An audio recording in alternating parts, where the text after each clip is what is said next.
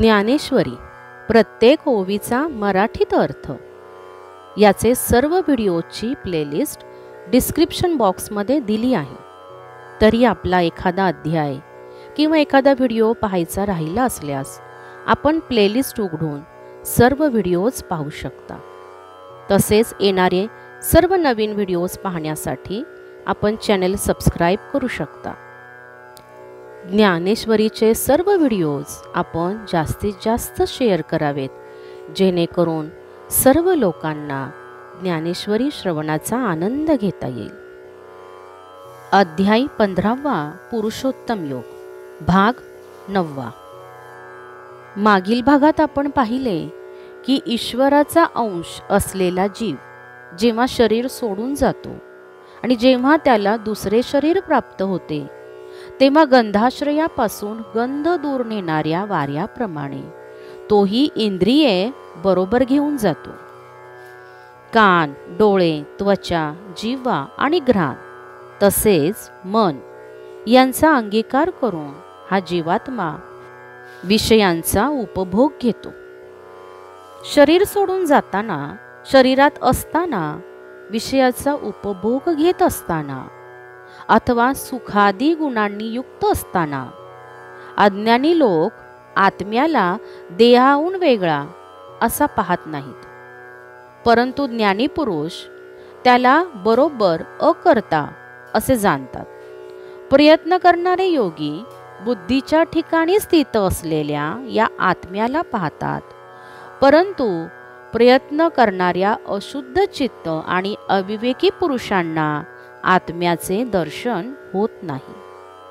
जे तेज सूर्याच्या ठिकाणी असून अखिल जगाला प्रकाशित करते आणि जे तेज चंद्राच्या आणि अग्नीच्या ठिकाणी आहे ते तेज माझे आहे असे जाण.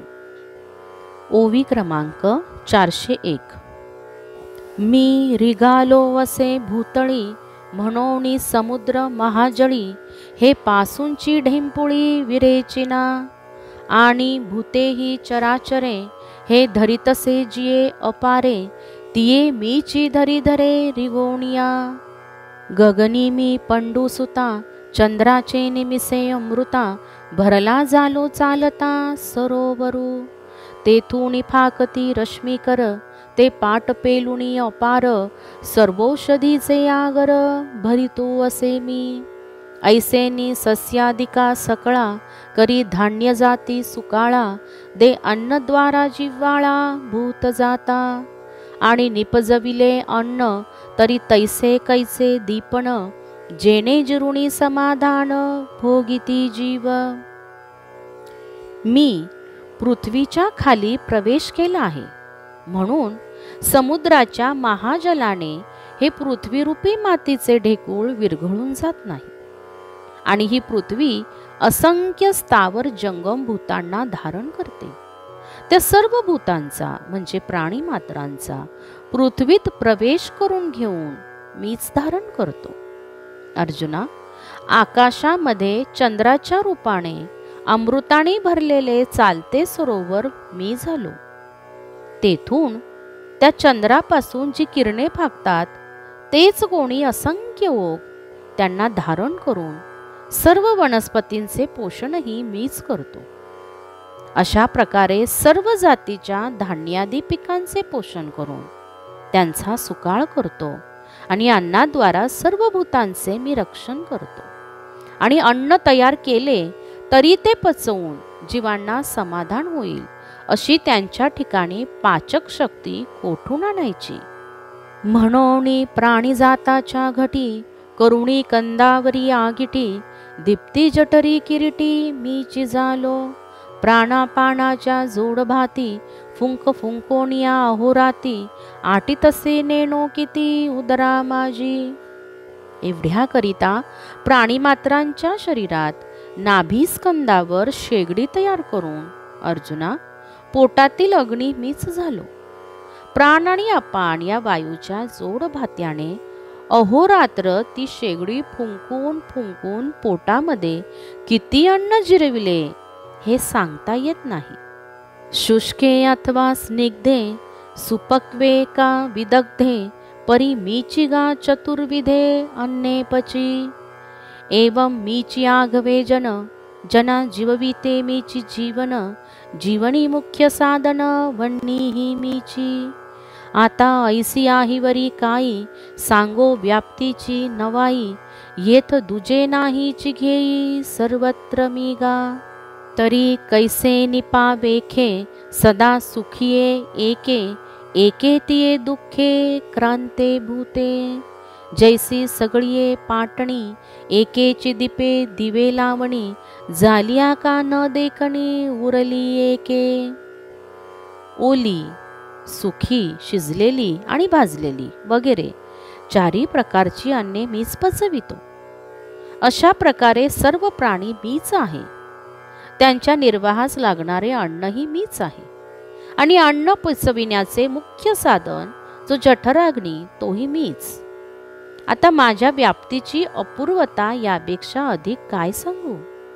अर्जुना या विश्वात सर्व ठिकाणी माझ्याशिवाय दुसरे कोणी नाहीच. मीच सर्व ठिकाणी आहे असे समज. मग असे असता कोणत्या निमित्ताने काही जीव नेहमी सुखी तर काही जीव नेहमी दुःखाने व्याकुळ झालेले आढळतात. जसे सर्व नगरात एकाच दिव्याने दिवे लागवल्यावर काही दिवे प्रकाश न देणारे असे का?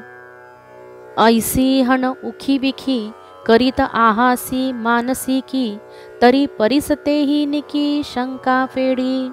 पै आघवा मीची असे येत नाही किर नारिसे परी प्राणियांची या उल्लासे बुद्धी ऐसा. जैसे एकची आकाशध्वनी वाद्य विशेषी आनानी वाजावे पडे भिन्नी नादांतरी.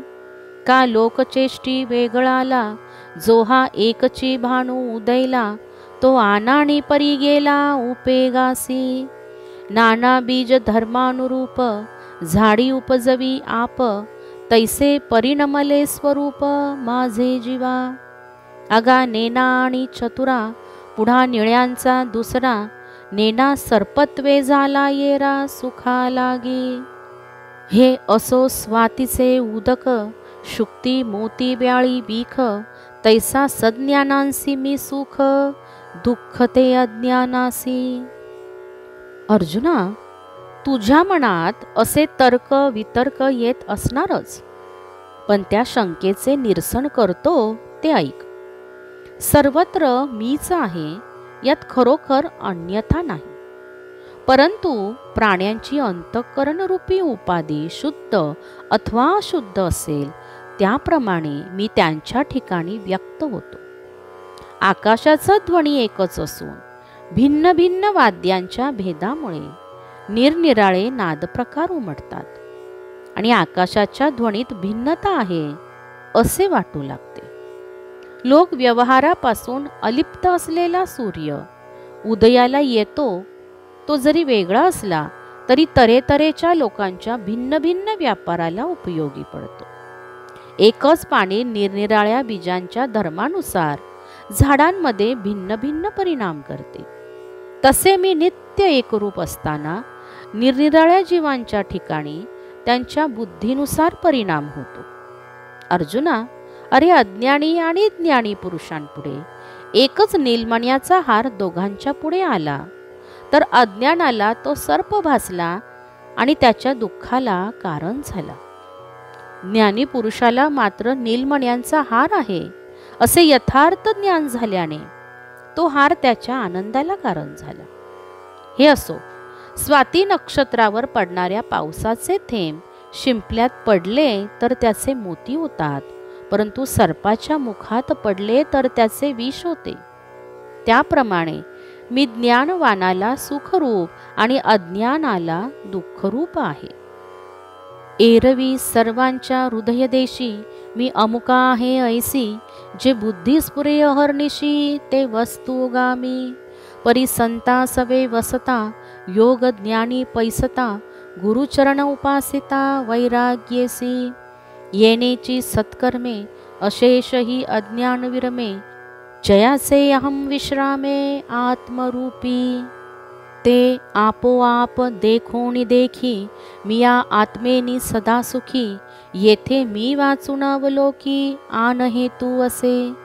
अगा सूर्योदयो झालिया सूर्ये सूर्यची पहावा धनंजया देवी माते मिया जाणावया मीची हेतू. अर्जुना वास्तविक पाहिले तर सर्वांच्या हृदयात मी अमका आहे. अशी जी बुद्धी रात्रंदिवस पुरते ती वस्तू मी आहे. परंतु संतांच्या संगतीत राहिले असता आणि योग आणि ज्ञानयोगाचा अभ्यास करशील आणि वैराग्ययुक्त होऊन गुरुचरणांची सेवा करशील तर तेव्हा याच सत्कर्माच्या योगाने संपूर्ण अज्ञान नाहीसे होते आणि ज्यांचा अहंकार आत्मस्वरूपी स्थिर होतो. त्यांना आत्मदर्शन म्हणजे सुखरूप जो मी त्या माझेच दर्शन झाल्याने ते सदा सुखी असतात. या व्यवहारात माझ्या वाचून सुखाचा अन्य कोणता हेतू आहे? अरे सूर्योदय झाल्यावर सूर्याच्या प्रकाशातच आपण सूर्याला पाहतो. त्याप्रमाणे माझ्याविषयीचे ज्ञान माझ्या मदतीनेच होत असते. ना शरीरपराते सेविता संसार गौरवची ऐकता देही जयाची अहंता बुडो निठेली. ते स्वर्ग संसारा लागी धावता कर्ममार्गी दुःखाच्या सेलभागी भागी न होती. परी हेही होणे अर्जुना मजची स्तवतया अज्ञाना जैसा जागताची हेतू स्वप्ना निद्रे ते होय. पै अभ्रे दिवसू हरपला तोही दिवसेची जाणो आला तेवी मी नेनोणी विषयो देखिला मजची स्तवभूती. एवं निद्रा का जागनिया प्रबोधूची हेतू धनंजया तेवी ज्ञानाज्ञाना जीवांचिया मीची मूळ। अथवा देहात्म बुद्धिवानाची सेवा करून संसाराचे कोडकौतुक करून ऐकून ज्यांचा अहंकार देहाच्या ठिकाणी दृढ झाला आहे ते स्वर्गातील किंवा संसारातील विषय सुखासाठी कर्म मार्गाच्या मागे लागून शेवटी शेलक्या म्हणजे गाळीव दुःखाचे वाटेकरी होतात. परंतु ज्याप्रमाणे जागेपणीच पाहिलेले दृश्य झोपेतील स्वप्नाला कारणीभूत होते त्याप्रमाणे अर्जुना या अज्ञानी जीवांच्या या स्थितीच्या प्राप्तीला ज्ञानस्वरूप असा मी कारणीभूत आहे. ढगांमुळे सूर्य झाकला हे सूर्यामुळेच कळले. त्याप्रमाणे माझे स्वरूप झाकले जाऊन संसार विषय जो प्राण्यांना दिसतो हेही माझ्या सत्तेच्या आधाराने घडते. अर्जुना ज्याप्रमाणे जीवाच्या निद्रेला किंवा जागृत अवस्थेला जसा मूळचा जागेपणा कारण आहे त्याप्रमाणे जीवाच्या ज्ञानाला मीच मूळ कारण आहे. जैसे सर्पत्वा का दोरा दोरूची मूळ धनुर्धरा तैसा ज्ञाना अज्ञानाची या संसारा मियाची सिद्ध. मनोनी जैसा असे तैसया माते नेनोणी धनंजया वेदू जाणो गेला तया तया जालिया शाखा. तरी तीही शाखा भेदी मीची जाणजे त्रिशुद्धी जैसा पूर्वापार नदी समुद्रची ठी सर्पाचा भास हो किंवा दोरीचे ज्ञान हो. दोन्ही जशी एका दोरीच्या सत्तेवरच होतात तसे जीवाच्या जाणण्याचा किंवा नेणण्याचा दोन्ही व्यवहारांना केवळ ज्ञानस्वरूप असा मीच हेतू आहे. म्हणून माझे यथार्थ ज्ञान न झाल्याने वेद ते जाणण्यासाठी पुढे सरसावला तेव्हा त्याला विविध शाखा फुटल्या. तरी त्याच्या त्या तिन्ही रुख यजू आणि साम शाखांनी माझेच स्वरूप वर्णिले आहे. ते कसे? तर नदी पूर्ववाहिनी असो व पश्चिम वाहिनी असो अखेर ती समुद्रालाच मिळणार. आणि महासिद्धांतापासी श्रुती हारपती शब्देसी जैसिया सगंधा आकाशी वातलहरी. तैसे समस्तही श्रुतिजात ठाके लाजिले ऐसे निवांत ते मीची करी यथावथ प्रकटोनिया. पाटी श्रुती हिकट शेष जग हारपे जेत निशेष ते निज ज्ञान ही चोख जाणता मीची. जशा सुगंधासह वाऱ्याच्या लहरी आकाशात लय पावतात. तशा शब्दांसह श्रुतीही अहम ब्रह्मास्मी या महासिद्धांतात लीन होतात. तेथे वेदही नेती नेती म्हणतात. तसे वेद लज्जित होऊन स्तब्ध होतात तेव्हा मीच ते प्रकट करून यथावत करतो. नंतर वेदांसह संपूर्ण जगत शुद्ध आत्मज्ञानात संपूर्ण नाहीसे होते. ते शुद्ध आत्मज्ञान जाणणारा मीच आहे. जैसे निदेलिया जागीजे तेव्हा स्वप्नीचे कीर नाही दुजे परी एकत्वही देखो पाविजे आपलेची. तैसे आपले अद्वयपन मी जाणतसे दुजे नवीन तयाही बोधा कारण जाणता मीची. मग आगी लागलिया कापुरा ना काळजी ना वैश्वानरा उरणे नाही विरा जया परी तेवी समूळ अविद्या खाये ते ज्ञानही जय बुडोण जाये तरी जे नाही किरणो हे आणि न साहे असनेही. ज्याप्रमाणे निजलेल्याला जागे केल्यावर त्याला स्वप्नात भासलेले द्वैत नाहीसे होते आणि त्याला पूर्ववत एकाकीपणाचे भान होते. त्याप्रमाणे कोणतेही द्वैत न भासता मी आपले स्वतःचे अद्वैत पण जाणतो. आत्मबोधालाही कारण मीच आहे. मग कापुराला अग्नी लागला असता अर्जुना ज्याप्रमाणे काजळी अथवा अग्नी काहीच उरत नाही. त्याप्रमाणे सर्व अविद्येला नाहीसे करणारे जे ज्ञान ते स्वतःच जेव्हा लय पावते तेव्हा नसणे आणि असणे दोन्ही उरत नाही. पै विश्व घेऊन गेला मागेसी तया चोरा ते कवणके गिवसी जे कोणी एकी दशा ऐसी शुद्ध ते मी. ऐसी जडाजड व्याप्ती रूप करिता कैवल्यपती ढी केली निरुपहिती आपुल्या रूपी.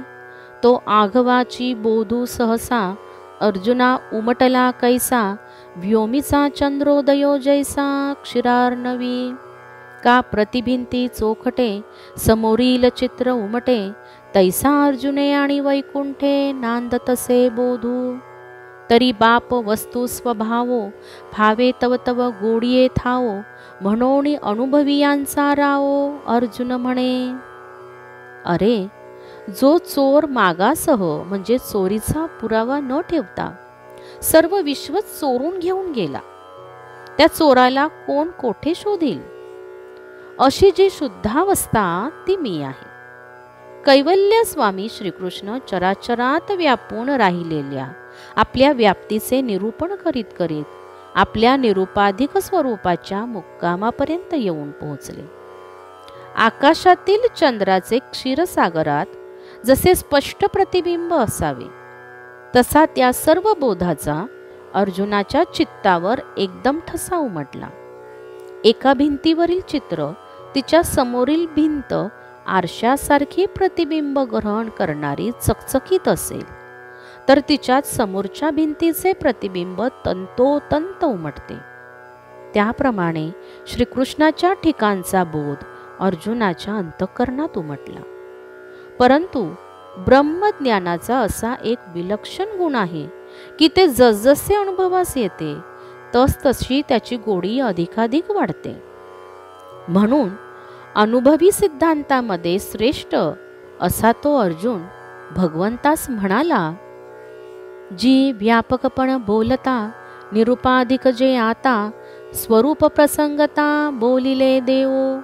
ते एक वेळ अव्यंगवाने की जो कामज कारणे तेथ द्वारकेचा नातू म्हणे भले केले.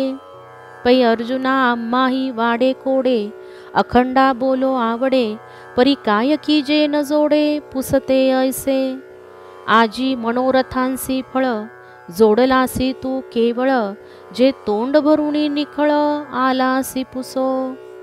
जे अद्वैता ही वरी भोगीजे ते अनुभवीचे तू विरजे पुसोणी मज माझे देतोसी सुख.